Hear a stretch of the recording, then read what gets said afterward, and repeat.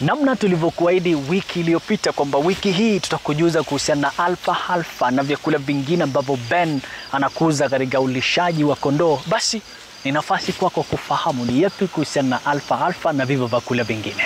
Ben, swali langu kubwa ambalo ndaliuliza sasa hivi ni kwamba alfa alfa tofauti na vyakula vingine ina nguvu aina gani katika protini?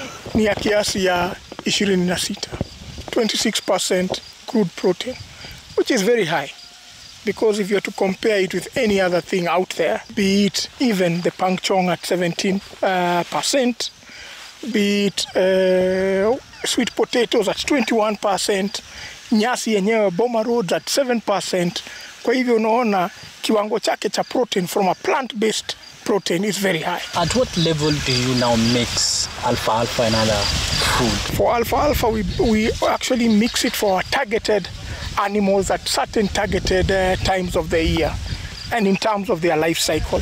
So, for example, we give it to our lambs. When our lambs are at about one month all the way to six months, we introduce Lucerne or alpha to them. And also for the mothers who are nursing their lambs, we also give them, uh, introduce uh, Lucerne as, as part of their formulated feeds so that they can be able to increase on the milk production. Tumemwona uh, kondoo moja akizaa. Tell me more if are you going to feed for how long uh, using this Lucerne?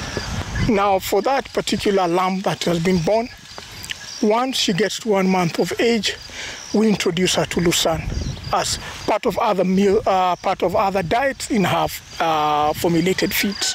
So she will be getting a bit of energy from the maize that is ground, and Lucerne will form the protein element for her growth. And we'll continue feeding her on that diet till she gets to month six, and after that, we'll put her on another diet that is similar to sheep of her age. So the times you have high protein in your feed is when an animal is growing. When a lamb is growing, it helps in this, not only the stimulation but also the growth of the uh, of the muscles in that animal as it grows. The other thing is that when a mother is nursing, when an ewe is nursing a lamb or lambs for that matter, then you give her the Lucerne. Another point to give Lucerne is when we are doing what we call flushing, which is preparing our ewes and our rams for breeding. Then we provide them with high protein so that we can also increase the estrus cycle for the mothers so that they can be able to ovulate faster. Na pia wanaweza kushika mimba haraka. Na pia tumeweza kuona by just introducing Lusan into that mix of the ratio we have noticed that pia mambo ya kuzaliwa doubles ambayo tunaita mapacha na triplet inaongezeka. So it has formed a very integral part of our feed strategy here at Amagodopos. For how long will that uh, kondoo be pregnant and is it necessary to feed and which type of special feed are you giving? A kondoo's gestation period is usually miezi tano, five months. That's the gestation period for the kondoo. But you'll notice the most important part is actually pre-conception. So the flushing, the one month before umpatie dume or introduce the ram, that's the time now you start improving on your feed.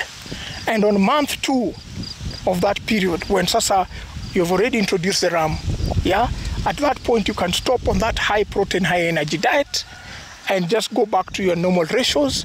Then at the tail end, at the uh, what we call the six to the six week to pre, to uh, conception, then you can introduce again high energy and high protein diet because at that point the mother remember the growing fetus inamea kweli kwa haraka na sasa anahitaji chakula mingi kuliko kiasi because if you remember you know, uh, I had mentioned that 4 it, a sheep eats 4% of its uh, body weight. At this point in time, I would say you should get to about 5 to 6% of its body weight because anabeba uzazi ndani yake. Planting alpha, how long will it take for it to mature? It takes between 30 and 45 days from the date of planting. And the beauty about it is this. You know it has matured when you start seeing the yellow flowers on them. This one we harvested it 45 days ago. Now it is ready to be harvested again. The other beautiful thing about Lucerne is that it ratoons, it grows back. So what you do, you don't uproot. Ile unafanya unakatia hapa chini tu, unawashika hivi, unakata hapa chini, unavuna, unakausha siku kama tatu, unaenda kupatia wanyama wako, mifugo yako, alafu unaendelea kumwagilia maji. Another 45 days umekata tena. Tell me about other feeds that you plant here. uh, maize, mainly for silage. The other plant we plant here is what we call Super Napier Pakchong 1. That we also plant here, and we use it both for ready to feed and also for silage. Then we are also growing brachiaria grass at the very end, which we use it as our fiber or what we refer to as roughage for the grass. Where do you find your, your water? Our source of water here is a borehole, yes, which we actually run on solar, because being in Machakos, we are solar rich. So it's important that we harvest as much as we can of God given sunlight to be able not only to reduce our costs, but at the same time to be able to maximize on our production by the use of solar to light, but also to pump our water. Farming one is a very rewarding enterprise. But the most important thing is, like many other things in life, you need to prepare well. You need to take your time to prepare well. Prepare.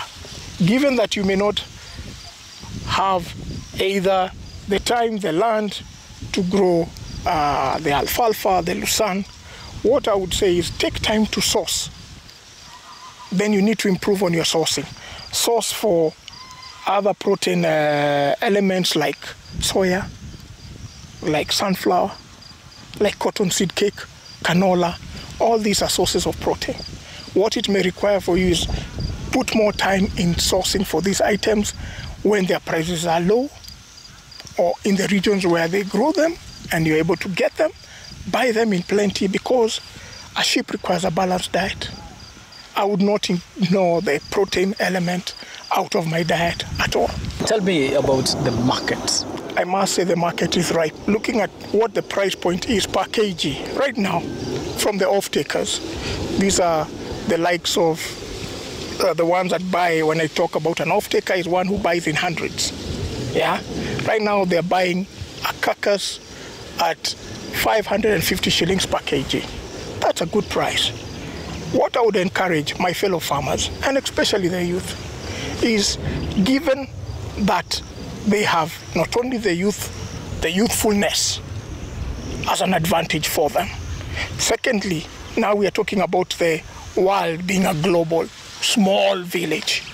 You are able to get as much information as what we're discussing about the feeds at your fingertips.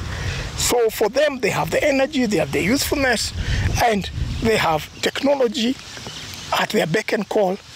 This is a time to get into this kind of farming. You will find that you not only have markets here, also regionally and internationally. Right now, you find for the international markets, the smallest order they want is three tons per week. Now, three tons per week translates to about 220 sheep. Yeah, per week. That also informs you that we as farmers need to embrace scale. We need to move our minds from farming from a subsistence level to farming from a production level.